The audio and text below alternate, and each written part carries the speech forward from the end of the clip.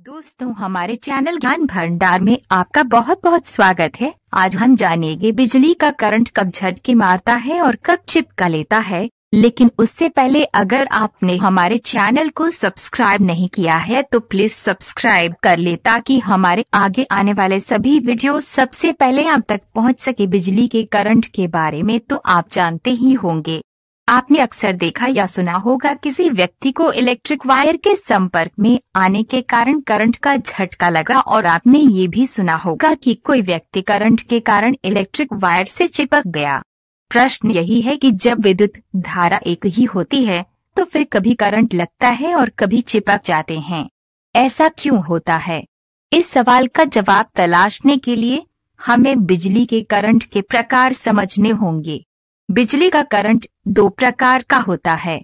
पहला एसी यानी alternating current और दूसरा डीसी यानी डायरेक्ट करंट यदि आप एसी और डीसी में अंतर समझ जाएँगे तो आप ये भी समझ जाएँगे कि कौन से वायर में किस प्रकार का करंट हो सकता है और वह झटका देगा या चिपका लेगा। अल्टरनेटिंग करंट यानी वो करंट जो आपके घर में सप्लाई किया जाता है। जैसा कि नाम से स्पष्ट है। अल्टरनेटिंग करंट दोनों वायर पॉजिटिव एवं नेगेटिव एक साथ प्रवाहित होता है। फ़र्क सिर्फ़ इतना होता है कि एक वायर में अधिक और दूसरे वायर में कम मात्रा में प्रवाहित होता है। जिस वायर में ज़्यादा करंट होता है, उसे आप फेस कहते हैं और जिसमें कम, उसे यूट्रल अल्टरनेटिंग करंट के संपर्क में आने से मनुष्य को कंपन महसूस होता है या फिर झटके लगते हैं।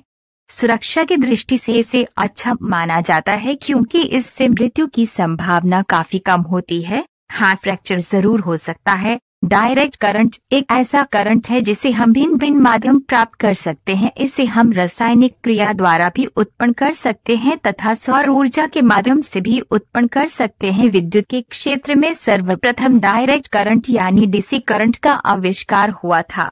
हमारे अधिकतर इलेक्ट्रॉनिक उपकरण डायरेक्ट करंट के माध्यम से ही चलते हैं। डायरेक्ट करंट की सबसे अच्छी बात यह है कि हम इसे स्टोर कर सकते हैं।